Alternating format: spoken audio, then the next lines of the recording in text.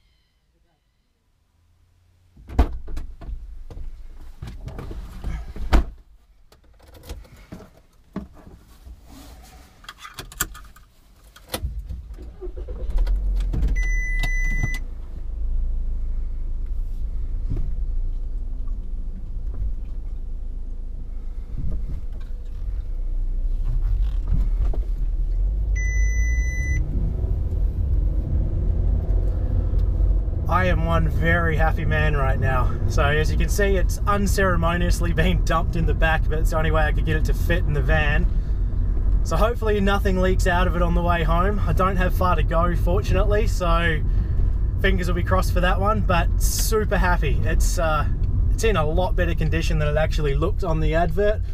There's a wee bit of surface rust, but nothing too bad. Um, I didn't go over it with a fine tooth comb because obviously I bid on it, sales final, I own it, but super happy with this. Uh, it's got a lot of potential, so we'll get it home and unloaded, put it into my workshop, and yeah, start a teardown, I suppose. I might um, muck around with the engine first and see if I can get it to kick over. Um, it rolled freely, so the engine doesn't seem to be seized, which is a, a good thing. Uh, the seller did make a comment that it was turning over and whatnot, so we'll see. It'll definitely need a battery. Um, fuel could be old, and hey, we'll chuck a spark plug in, obviously. But you'll hopefully see a lot of this wee thing in the upcoming episodes. I've got some plans for it, so time will tell. But right now, I need to get this thing home and in the workshop. Uh, once I've done that, I will take a few photos and some short video. Um, perhaps put it on the Facebook page for you guys. We'll see.